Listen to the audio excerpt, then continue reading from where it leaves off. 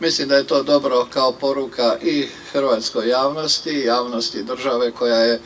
po svim segmentima sigurnosti u samom vrhu kad govorimo o državama članicama Europske unije. To ne bi bilo sigurno moguće da nismo krenuli ovako sveobuhvatan e,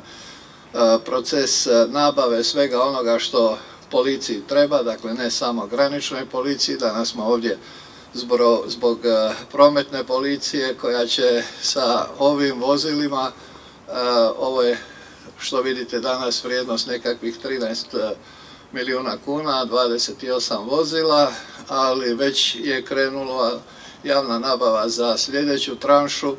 u vrijednosti 40 milijuna kuna gdje će osim ovih vozila biti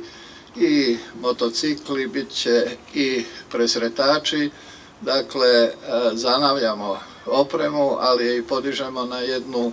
višu razinu i ima je više nego što je ikada bilo. E, sve su to ulaganja u sigurnost, e, u konkretnom slučaju sigurnost prometa, ali sigurnost je sveobuhvatna i sigurno da sve ovo doprinosi tome da ostanemo u samom vrhu kad je u pitanju sigurnost i građana i gostiju koji dolaze u Republiku Hrvatsku.